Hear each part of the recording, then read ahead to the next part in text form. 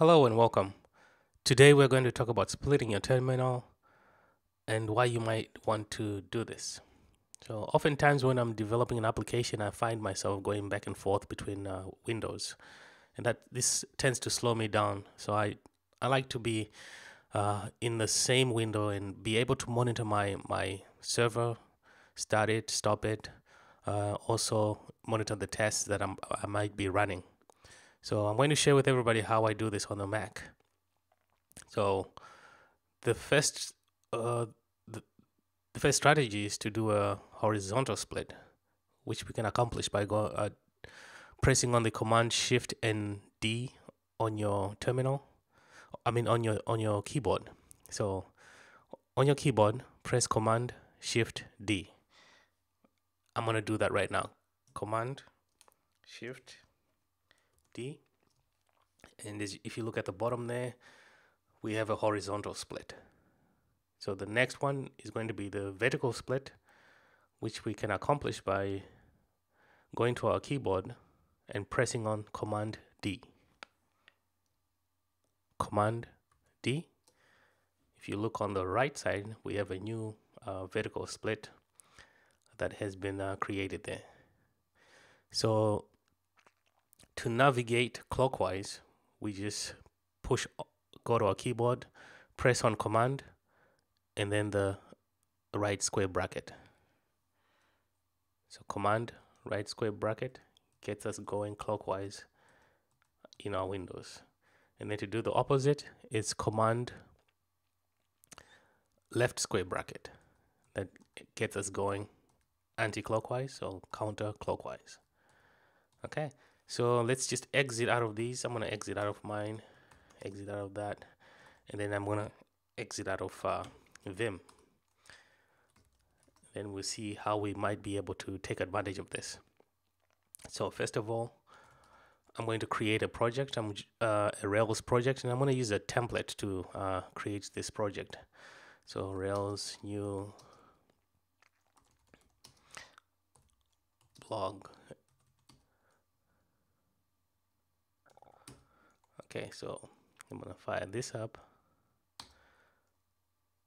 So instead of me waiting for my uh, project to be created I'm going to start splitting my terminal so that I can start working on other things. So let's do a horizontal split. That was command shift D. That was the horizontal split. And now I'm gonna do a vertical split Command D. As you can see, my project is still getting created over there and I'm not waiting for for it to, to complete. I have new windows that I can be using here. So let me see where I am at on the right side here. Let me enter into my blog, cd blog.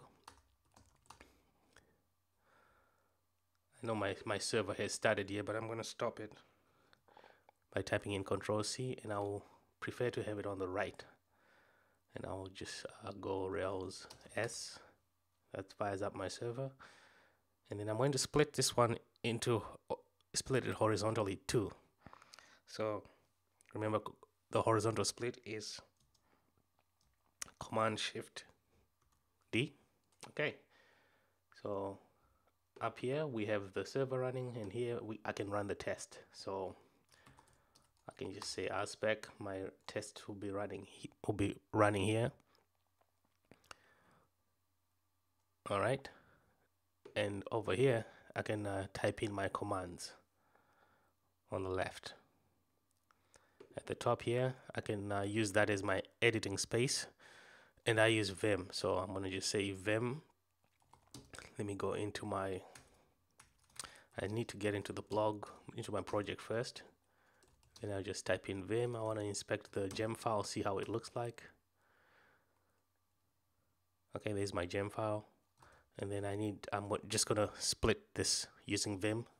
So VSP is vertical split. So that splits my my window there. And I have uh, two different windows. Uh, and I can even go to the right side there and open up a different file let's say I just want to, I know I created a pages file using my uh, my template, so I'm just gonna say e controller, and I want the pages controller, and there is I can uh, use that, and I can start coding over here. Okay, so that's it for today. Thank you for watching. See you next time. Bye bye.